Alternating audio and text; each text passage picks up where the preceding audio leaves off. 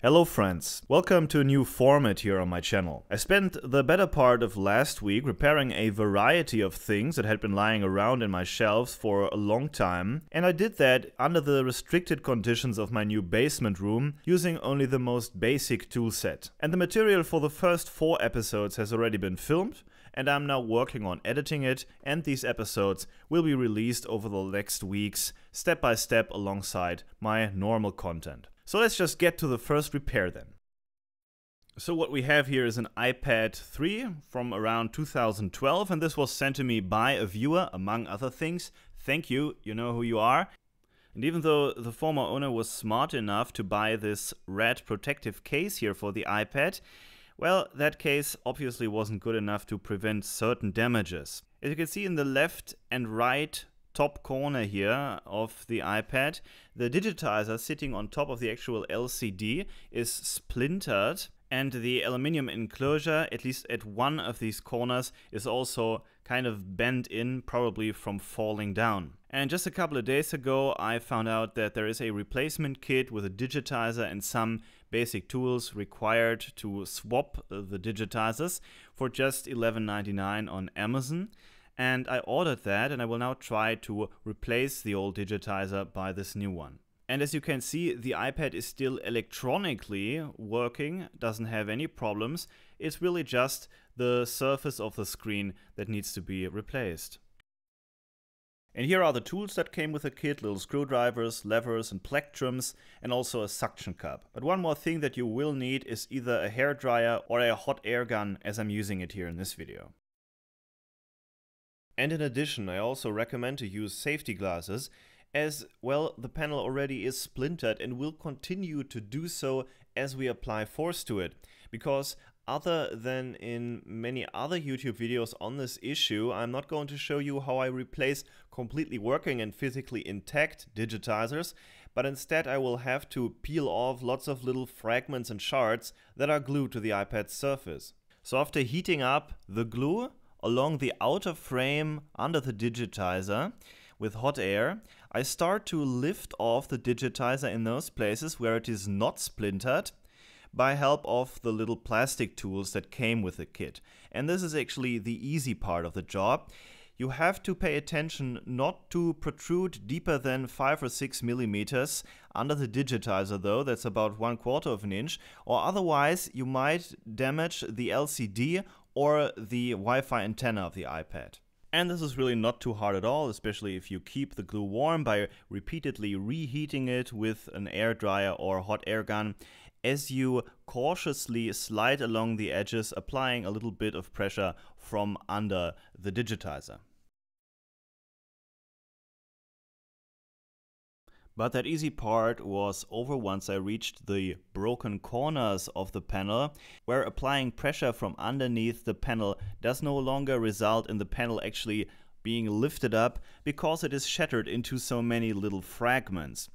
And I didn't have any luck with the plastic tools prying the little shards off, and that's why I tried to use the tip of my Swiss Army knife here, and well, it actually worked quite well. Of course, though, you have to be extremely cautious not to touch anything lying underneath the digitizer with the tip of that knife. And by and by, I was able to free the largest portion of the digitizer so that I could eventually lift it off the surface. And after that, I proceeded reheating the glue and prying off the remaining shards from the frame of the iPad with my knife. Again, being very cautious not to scratch the now completely unprotected LCD module. And then I decided to simply cut the FlatFlex cable connecting the digitizer to the rest of the device because in just a minute I will have to take out and flip over the LCD quite awkwardly and the shards or remains of the old digitizer will only be in my way. And with that top panel gone, it's now much easier to remove any remaining fragments, no matter how tiny. And I really clean the entire frame of the iPad and I also clean the workbench after that because we will now work on the LCD and we don't want to get that in touch with the shards which might scratch the LCD. But before proceeding, I lift off the little plastic frame around the edges of the aluminium enclosure and use needle nose pliers to bend the enclosure back into the original form. And even though I'm getting very close to the LCD panel with my fingers here, I'm not actually touching the surface, which you should totally avoid. And with that being done, I unscrew the four tiny bolts holding the LCD down with the help of one of the little screwdrivers that came with the kit. And then again, I try to lift off the LCD without touching the screen. But you can also see that there are tiny pieces of dust or glass lying on the LCD surface and we'll take care of that in just a minute. And now you have to put the LCD aside without flipping it around so that the surface doesn't get damaged. And it stays connected. We only took this off so that we can unplug the flat flex cable of the broken digitizer module and then of course connect the new one. And in the next step, a small piece of tape attaching the flat flex cable to the connector inside has to be removed. And again, one of these plastic chips comes in handy. And don't forget to reapply this piece of tape once the new digitizer is connected. But don't just pull out the Flatflex cable. First, there are two levers or locks at the end of these two connectors that have to be disengaged first. And then you can free the Flatflex cable. And then you can insert the Flatflex cable of the new digitizer and close these locks again. And here would be the part where you reapply the little piece of tape. And now you can theoretically reattach the LCD panel, but pay attention not to have any excess flat flex cable looking out of the enclosure. You want to have the amount of flat flex cable acting as a hinge here to be as short as possible so that you can just put down the digitizer flat onto the LCD panel. And the amount that you see here in this footage is actually a little too much.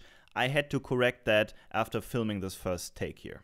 And in the next step, I put on a fresh pair of rubber gloves because I don't want to put any of the grease on my fingers onto the LCD or the inside of the digitizer. And I start to carefully clean the surface of the LCD just with a piece of clean cotton. And in the next step, I remove a large transparent sticker that is on the inside of the digitizer and was supposed to protect its surface. Furthermore, a whole range of blue plastic sheets protecting a layer of glue lying underneath have to be peeled off. And checking for grease, dust or any kind of dirt on the LCD or the inside of the digitizer one more time, I align the edges of the frame and the digitizer and I carefully put it down. And now I try to apply pressure all around the frame of the iPad equally. And after having done that for a while, I finally also peel off the sticker on the outside of the digitizer. And now I'd say it's time for the moment of truth.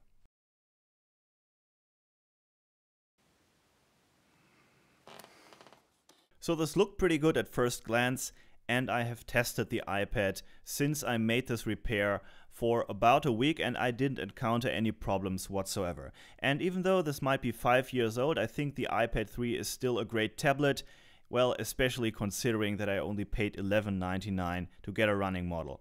So if you want to repair one of these yourself, you can find a link uh, to this repair kit in the video description.